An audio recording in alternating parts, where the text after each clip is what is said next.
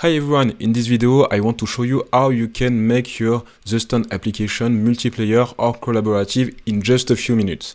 So let's jump into the code. This is our to-do list application. Task 1, task 2.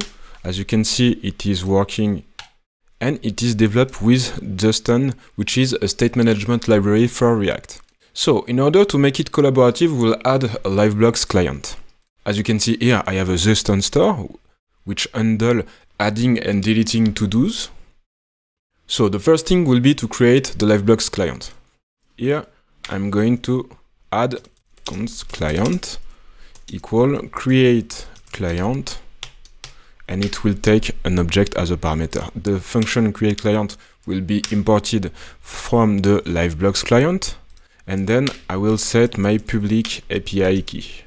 Now we'll have to add a middleware to our application. The middleware will be a function that is used by the create function to create a new store. So let's take this, take all this part, I will copy it and use the middleware function from the LiveBlocks Zustand package. The middleware function takes a second parameter. It will be an object, uh, an option object, We'll pass the client, and we'll also pass two properties. Presence mapping. This one is useful if you want to push data to the presence block. For example, we will add an is typing flag to our application. So we'll just take is typing to true. As you can see here, the is typing property is part of our store. Next, we'll add the storage mapping. Storage mapping, an object and then we'll bind the to-dos property of our state. To-dos, and we'll pass just the true value to activate the storage mapping for our to-dos array. It means that all the data that you've pushed on your to-do store will be pushed on the LiveBlock storage. So now that our store is ready to be used with LiveBlock, we'll make some modification on the application. Let's go on our app.js file. First thing will be to create a room name. It will be useful to identify and segregate your room. To do application, for example. Remember that we use the middleware to enhance the possibilities of the Zustand uh, management library. So here I can do LiveBlocks and the LiveBlocks will be an object, We'll extract enter room, leave room, and is storage loading flag. Next, we'll create a new effect. Use effect. We'll pass an array of dependencies and we'll update it later.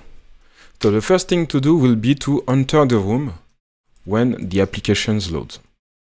We'll pass the room name and we can also pass an initial state object. So here's the object and we pass our to-dos with an empty array value. Here we can add the enter room function to the list of the dependencies and we'll also add the leave room we will return a clean function inside our use effect. So here, return new function, and in this function we will call the leave room function. This code is very important. It prevents the application from creating uh, too many connections to the LiveBlocks APIs. After that, as we are using the storage, we will just return a placeholder, a loading component if you want. So we'll use the isStorage loading flag. If isStorage loading equal to true, we'll return a div with a loading. It will prevent some errors. So our application just refreshed. The last thing we have to do is to add component that shows who is here in the room. Who is here component. And here I will add the someone is typing component. Here we are displaying the other user online count and if I'm typing in a window, you can see that there is a message showing if someone else is typing in the room.